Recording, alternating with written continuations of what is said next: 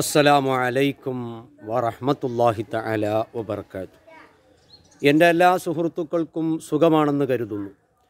സുഖത്തിനും സന്തോഷത്തിനും വേണ്ടി ഞാൻ അള്ളാഹുവിനോട് ദ്വാ ചെയ്യുകയാണ്.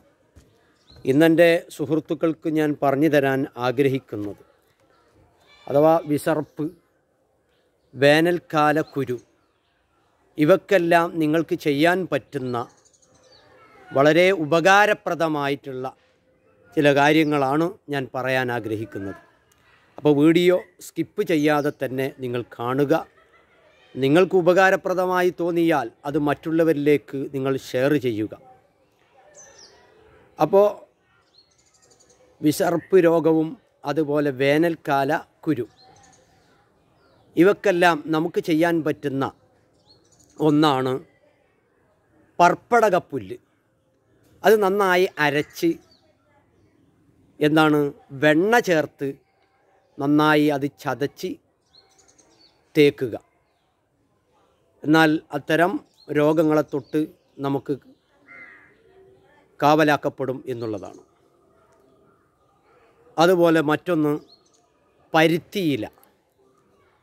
നമ്മുടെ നാട്ടിലൊക്കെ ധാരാളം കണ്ടുവരുന്നതാണ് പരുത്തി. ആ പരുത്തിയുടെ ഇല തേങ്ങാപ്പാലിൽ നന്നായി അരച്ച് കലക്കി കാച്ചി അതിന് ശേഷം അരിച്ച് തേക്കുക. എന്നാലും അത്തരം രോഗങ്ങൾ മാറിക്കിട്ടും എന്നുള്ളതാണ്.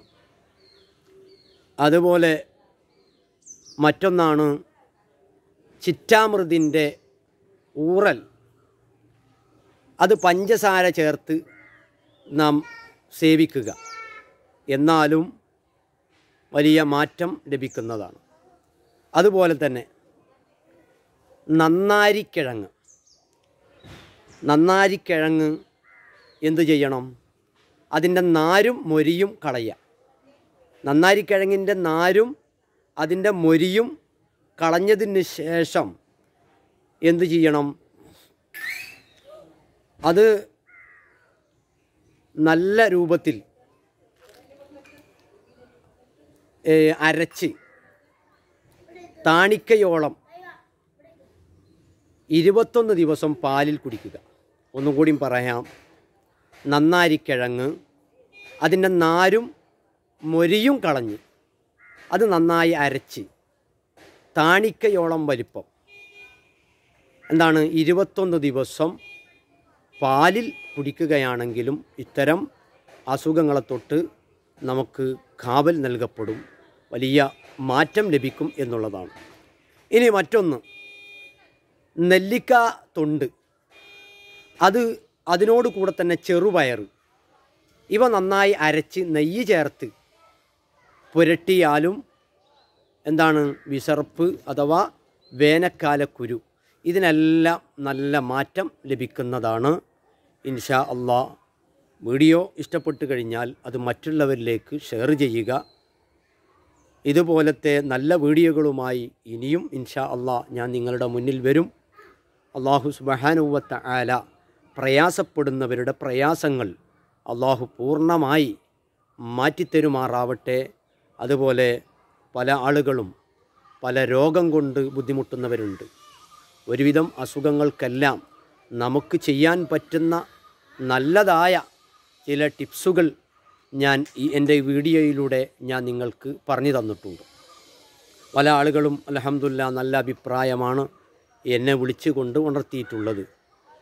അപ്പോൾ പൂർണമായി ഞാൻ പറയുന്നത് പോലെ നിങ്ങൾ ചെയ്യുകയാണെങ്കിൽ ഇൻഷാ അള്ളാ നിങ്ങളെ അലട്ടിക്കൊണ്ടിരിക്കുന്നതായ അസുഖങ്ങൾക്ക് നമ്മുടെ നാട്ടുമരുന്ന് കൊണ്ട് തന്നെ നമുക്ക് മാറ്റിയെടുക്കാൻ കഴിയും എന്നുള്ളതാണ്.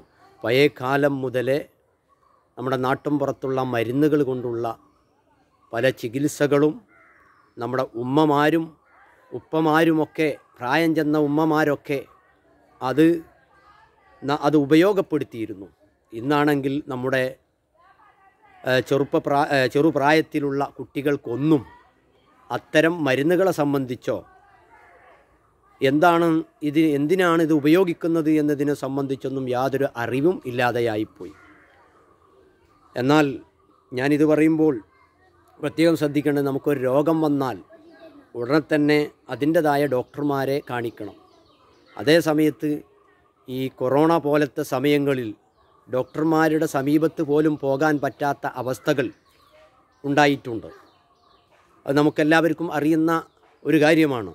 അപ്പോൾ അതുകൊണ്ട് അത്തരം അവസ്ഥകൾ വരുമ്പോൾ ഇത്തരം പച്ചമരുന്നുകൾ പെട്ടെന്നൊരു കുട്ടിക്ക് ഒരു കഫക്കെട്ട് വന്നു.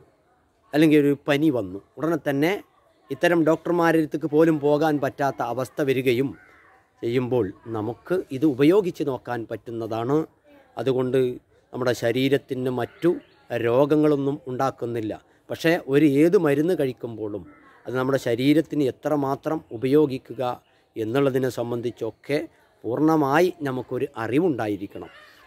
അപ്പോൾ നമ്മുടെ മരുന്ന് അമിതമാകുമ്പോൾ അതും വിഷമായി മാറുന്ന ഒരുപാട് കാര്യങ്ങളുണ്ട്. അതിലേക്കൊന്നും ഇപ്പോൾ കടക്കുന്നില്ല. എനിക്ക് സമയം കിട്ടുന്നതിനനുസരിച്ച് ഇൻഷാ ഞാൻ പറയും.